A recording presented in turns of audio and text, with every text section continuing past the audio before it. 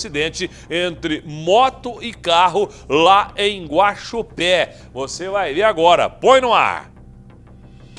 A batida entre os veículos aconteceu no cruzamento das ruas Capitão Américo Almeida Cirino e Expedicionário Ricardo Fantini, no bairro Angola. De acordo com informações da Polícia Militar, o motorista do carro disse que não viu a placa de pare e por isso passou pelo cruzamento e acabou batendo na motocicleta. Com o impacto, o motociclista de 34 anos caiu no chão e precisou de atendimento médico. A Polícia Militar foi acionada e esteve no local para as providências quanto ao trânsito e veículos.